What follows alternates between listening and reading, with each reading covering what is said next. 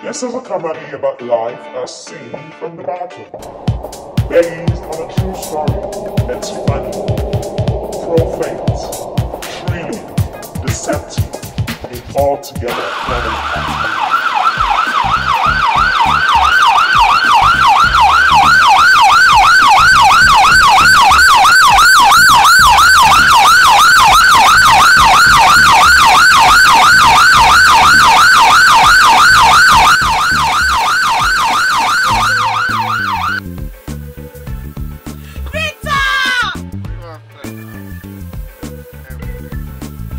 What happens when your husband dies, leaving you with nothing, and you have no education, and you have to fend for yourself and your five-year-old daughter?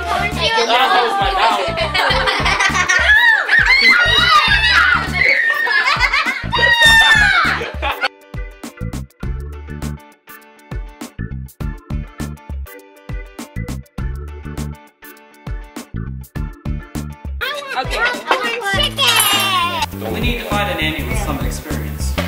is Lola Chidinma Okoye Obarakwe. Hmm. Yes, and I am here for the the the, the Nagi position. No, no.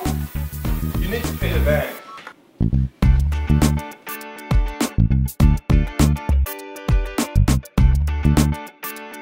Take a look at your resume.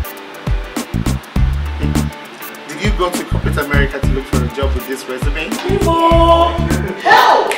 No, I didn't know I was coming for 5K. I thought I was coming for you Oh, now. no, no, no. I'm, I'm going to take care of it. No, I can take care of you. Oh, I'm sure you can. Don't you like this? Oh, I like that. You don't? I need someone that like my kids more than me. Right? Okay, well the kids is not a problem. We can just throw them somewhere and I will take care of you.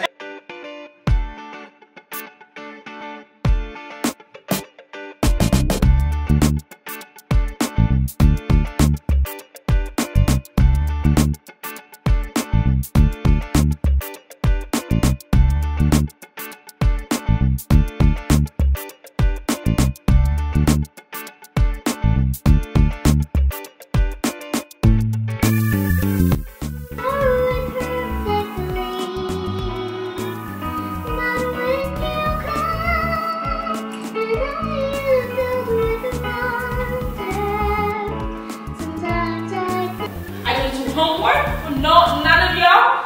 I don't